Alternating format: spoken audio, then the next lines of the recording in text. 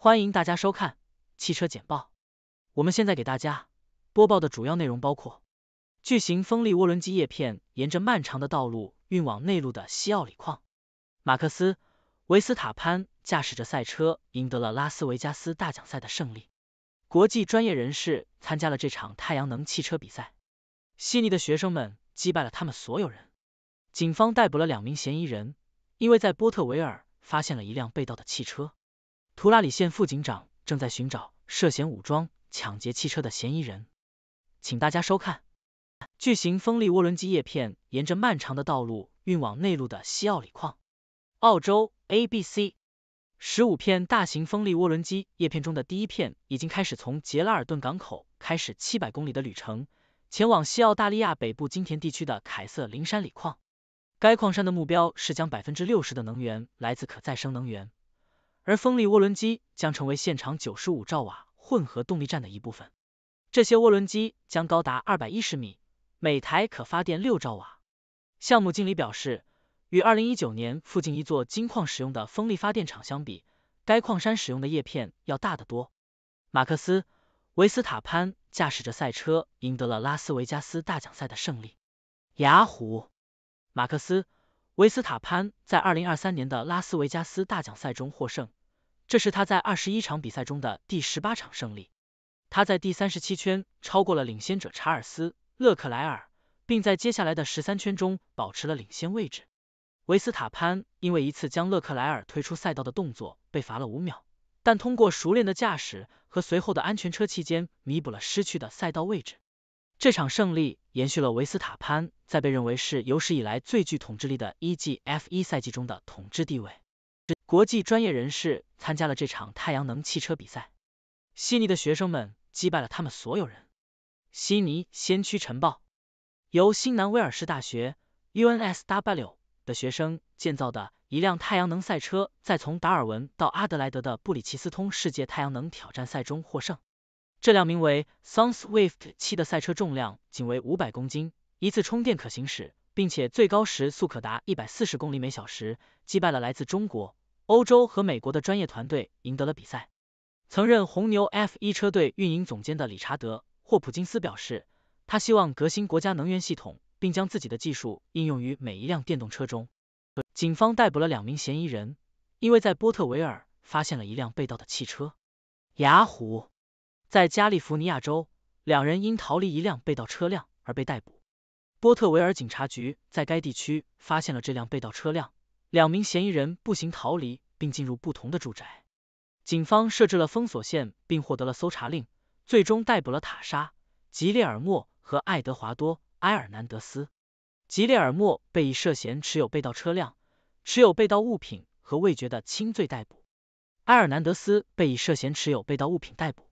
图拉里县副警长正在寻找涉嫌武装抢劫汽车的嫌疑人。雅虎。图拉里县警长办公室正在寻找一名涉嫌参与加利福尼亚州里奇格罗夫的一起武装抢车案的嫌疑人。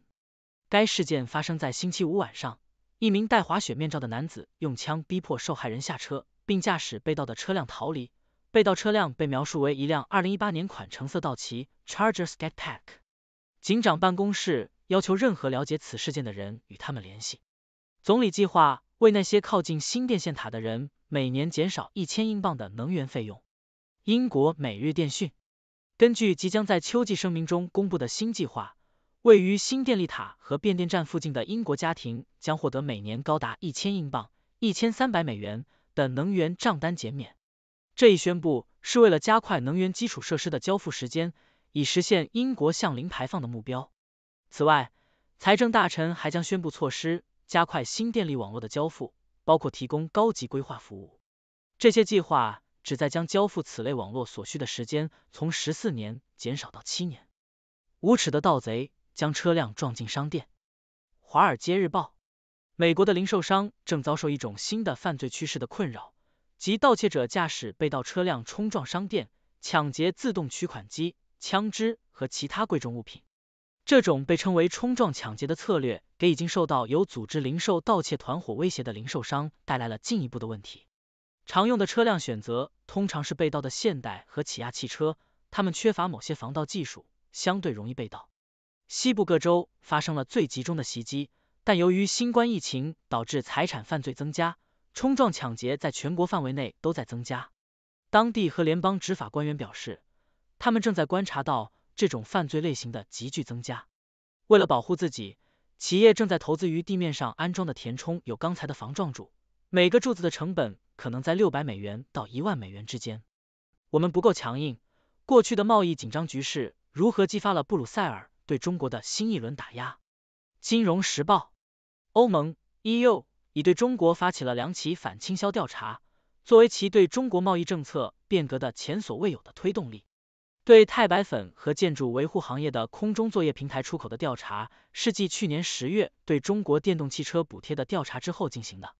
欧盟决心不重蹈二零一三年的覆辙。当时对中国太阳能电池板征收的反倾销税不足，导致欧洲太阳能电池制造业的损失。这一次，欧盟委员会在中国电动汽车制造商在其市场占据重要地位之前，已经开始评估对其的补贴。欧盟还威胁要在其他行业采取一系列措施，包括风力涡轮机零部件和医疗器械进口。欧盟对中国施加的压力增加，是由于对中国在绿色供应链中的主导地位。对俄罗斯的支持以及贸易逆差扩大等问题的担忧。亲爱的观众朋友们，大家好，我是来自六度世界的六博士。今天我们一起来回顾一下最近的新闻，从风力涡轮机到太阳能赛车，再到警方的追捕和政府的能源政策，新闻内容丰富多彩。首先，让我们来看看巨型风力涡轮机叶片运往西奥里矿的新闻。这些叶片的运输可谓是一项艰巨的任务，但是为了实现可再生能源的目标。这是必须完成的工作。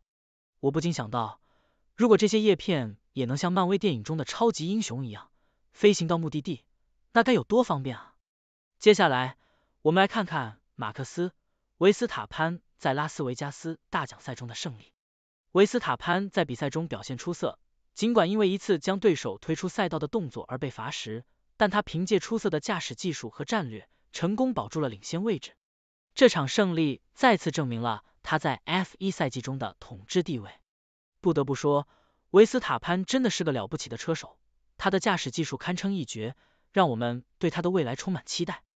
接下来是关于悉尼学生太阳能赛车的新闻，这辆名为 Sun Swift 七的赛车在太阳能挑战赛中脱颖而出，击败了来自世界各地的专业团队，这是一项令人振奋的成就，也展示了年轻人的创新和实践能力。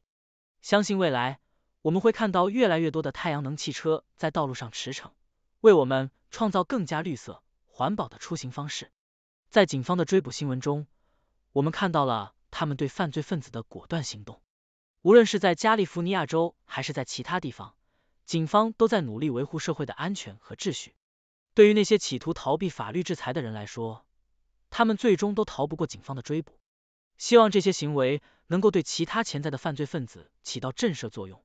让他们知道犯罪行为是绝对不能容忍的。最后，让我们来看看英国政府计划为那些靠近新电线塔的人减少能源费用的新闻。这个计划的目的是加快能源基础设施的交付时间，实现英国向零排放的目标。我想，如果我们能够通过改善能源基础设施来降低能源费用，那将是一件非常好的事情。希望这个计划能够顺利实施，让更多的人受益。以上就是今天的新闻内容，我相信你们一定有很多想法和观点，欢迎大家参与讨论并提问。你有什么样的想法呢？期待和大家的互动。谢谢收看，我们下期节目再见。谢谢您的收看。上面播报的内容是六度团队推荐的全球专业媒体、智库、政府机构和行业专家的最新报道、分析简报。更详细的内容，请大家去这些媒体、智库的网站阅读。这些内容并不一定反映六度简报的立场，亦不能作为任何决策的建议。六度团队由专业媒体人、学者、科学家组成的独立新型媒体，大家可以根据自己的专业要求订阅各种简报。网址是六度 brief 点 com。您在世界任何地方都可以通过电邮收到六度简报。